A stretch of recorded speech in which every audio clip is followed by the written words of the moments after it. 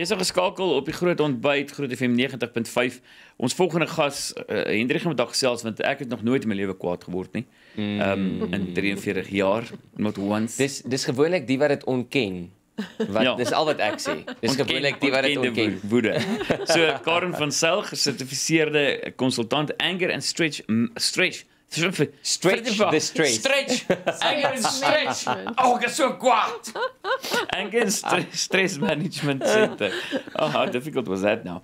Um Karen, baie welkom. Ag baie dankie julle. Dis lekker om hier te wees. Ek wil vinnig by jou hoor en as ek nou ek nou regtig gaan gaan dink oor anger en dan en in die geskiedenis en daar in die koerante, nê, nee, mense wat wat mense doodslaan en mense wat mense vermoor. Dit klink mm. verskriklik, maar 'n pad woede voorval skiet iemand iemand. En toe gaan ek terug tot by Kain en Abel. Um mm. wat net blyweg sê Kain het kwaad geword. Um en hy kon dit nie gemanage het nie en toe vermoor sy broer. So anger uh, is yeah, since the beginning of time. Ja. Uh, and, ja. uh, just define anger. Okay. Well, anger is a natural, normal human emotion. So it's um, completely normal. We're all going to get angry at some point. We're all going to lose it. However, as it in Buddha, um, uh, if it gets to Buddha, then it's then it's a problem. Then we usually are irrational. We're hurting people around us or ourselves, and that's where we need to put in some management kind of tools. Jy noem nou net woede. As jy dit miskien kan spesifiseer, moet dit uh, noodwendig 'n uh, fisiese woede wees? Kan dit 'n emosionele woede wees? Wat is die definisie van woede? Al twee. Uh dat ja, phys- physical and emotional um often it's really kind of out of the the trigger is not as bad the the actual reaction is disproportionate to the trigger. So that's what we find is that the person has usually been bottling quite a bit and then they then they something small happens and then they just they lose it completely. Sure. Is it, is it uh, maybe better to, really to know yourself? Um, uh, I can get uh, uh, easily argumentative, but losing my, my, my temper, I know exactly when it happens because I can't breathe. I go like, and then I really Yes. know, okay, I lost it now. You know. Okay. Um, so the different like stages of losing your losing temper. your temper. Yes. Um, this is in our programs. What we do is we look at um, being very aware, so it doesn't just happen. Um, sometimes we think 0.01 of a second and we've lost it and we've overreacted, but there's usually a build up. So it's really important to start getting, as you said, getting to know yourself. Where are your trigger points, and how are you going to do something to to to control it better? Nou gestel ek is nou iemand wat dalk sukkel met woede en uitbarstings en al daai goed, dan hoor 'n mens baie keer wat sê ja, maar my pa of my oupa het ook gesukkel met dieselfde Ja. probleem.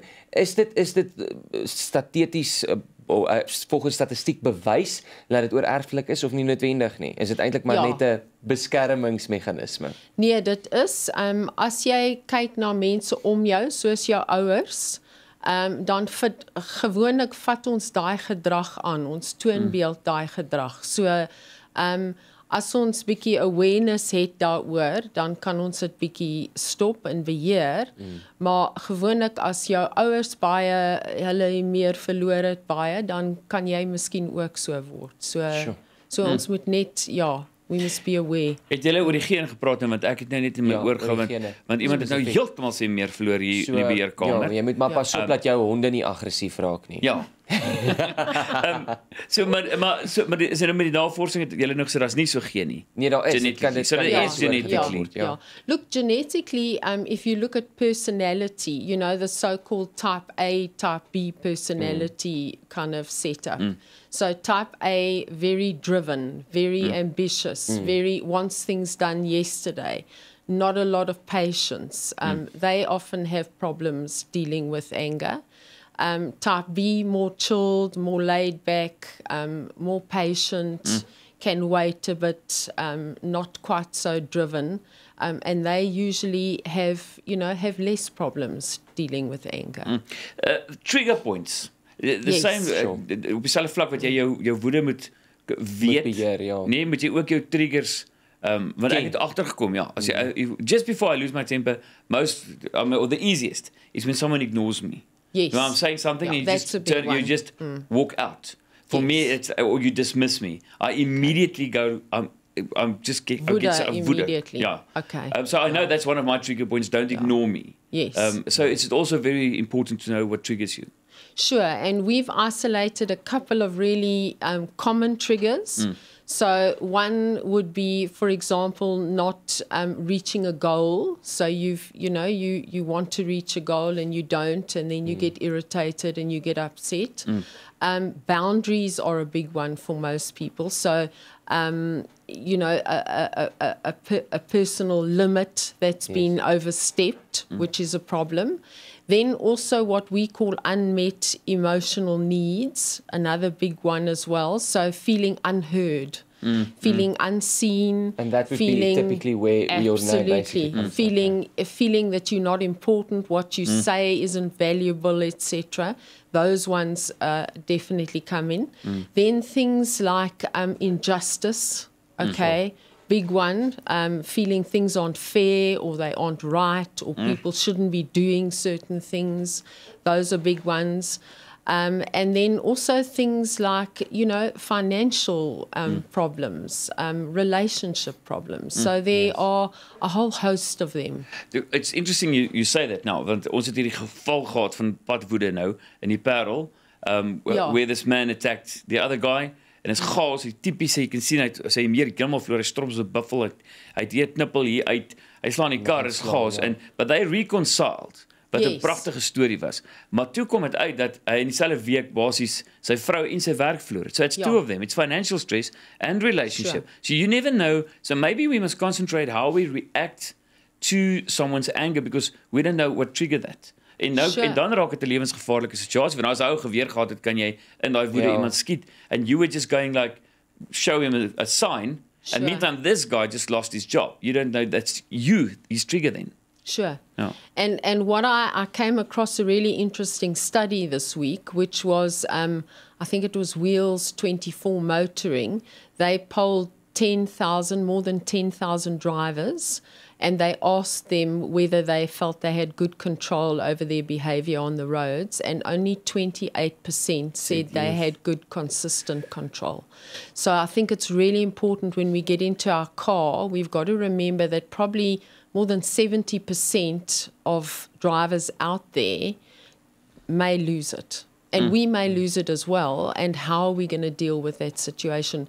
Because, I mean, things go viral immediately, and you can imagine what that does to, you know, the family if somebody has now been caught in one of those so called mm. really bad road rage incidences. And their consequences, you know, people will lay charges and you might even end up, you know, in prison or with a criminal record. So it's really important to to try to stay in control and on the roads. And it's and it's a thing that I experienced living in Joburg years ago. It's it was really Mm. you realize that that there's a lot of aggression and and you and you trigger one person and you can die. Mense Yes. verstaan nie dat road rage Ja. can you can die. Yeah.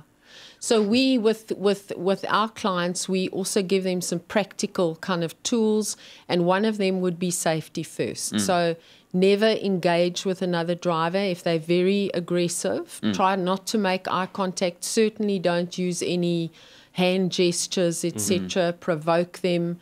Don't get out of your car. We suggest going to a, a police station or a shopping center where there may be security or a garage and get out there if you need to, you know, deal with a person.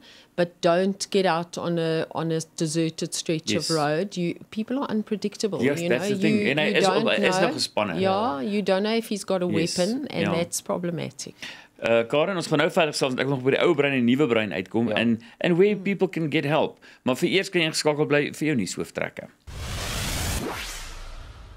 Jy is geskakel op die groot ontbyt. Ons gesels verder met Karen van Sail, gesertifiseerde konsultant anger and stress management center. Um we discussed a couple of things, but there's an old brain new brain theory when it comes to anger. Just tell us about that. So um, old, and this is one of the the tools that we use in our program. And when when you can understand this, it um, it really helps a lot with control. Um, the old brain being the emotional part of the brain, so the part of the brain called the amygdala. Um, the new part of the brain, more the prefrontal cortex, so where we do our higher thinking, our cognitive thinking. So, what happens is a trigger comes in. Um, as soon as we've been triggered, adrenaline is released, and adrenaline works in the old part of the brain, so in the instinctual kind of the part of the brain, and that's usually where we default to. So we can understand why, because if you need to get out of the way quickly, something happens, there's a trigger coming in, you need you can't think about it too long, you've got to just react. Um, but what happens is often is that we're reacting on something which is actually not a mortal threat. So it mm. might be a fight with your husband or your wife or whatever, or a disagreement.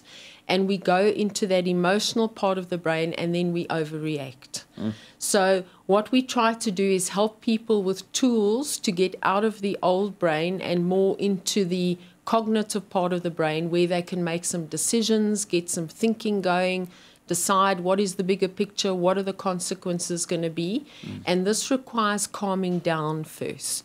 So that's really important is learning some techniques to calm down. Either breathing is one of the ones that we look at, counting might work. Um, self talk, telling yourself to calm down, it's not so bad, instead of winding yourself up um, and those sort of things. And then also timing out. You know, if you need to time out, timing out is not walking out mm. and avoiding. Timing out is making an excuse and saying, I need to speak to you about this later. I'm too upset. Let me calm down. Let's talk about it later. So it's a great if you can if you can understand when you're in the old brain, mm. when you and how to get into the new brain, often that gives you a lot more control over your reactions. Mm. Uh, the difference between anger and stress.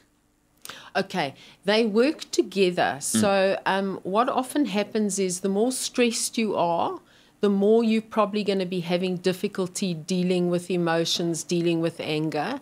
And the more angry or emotional you are, often the more stressed you are. So, we kind of work together. We try to give people some tools on dealing with their stress levels um, which then goes a long way into dealing with anger and vice versa. So um, it is really awareness on both, but they do work together. Sure. Um, practical uh, tools, you know, to control your anger, like you said, breathing. Yes. maar as- Talking to yourself. You're talking to yourself. Yes, um, of talking now, to no, but yourself. now you, but now you're in a situation where someone loses his temper. What's the wrong thing to do? Okay, I would say, and this is what we usually do, is tell a person to calm down. Mm. So calm down, don't get so angry. Mm. Those are big triggers. Being told what to do, and then also being told not to be angry. If you're angry, you're angry. You've got a right to your feeling. So it would be better to rather look at the feeling. So say something like, I can see you angry, Henry. Uh, would you like to talk about it? Mm. Or what's happened? Let's sit down and chat. Keeping, you know, keeping your body language, keeping your tone, um, control over those, but rather acknowledging the feeling and then trying to figure out what the person needs instead of just telling them Don't be not angry to, or don't be angry because of course that's a that's Unless a he's standing with a Sure. chair already in his hands, then you run. Um, waar kan mense julle kontak? We've got like 10 seconds. Where can people contact you? Okay, our website is www.angerstress.com and we have branches countrywide, so people are more than welcome to to get in touch with us. Um, ek gaan jou terugnooi want ek ons het nog glad nie gekom by verhoudingswoede nie en dis een van die grootste oorsake van moord in Suid-Afrika is mense wat jy Sure. ken and I think that's a very important one and then also to take questions from our viewers and listeners. So we must definitely do a follow up. Thank you so much. Thank um, you. Karen. It was great to be here. Great.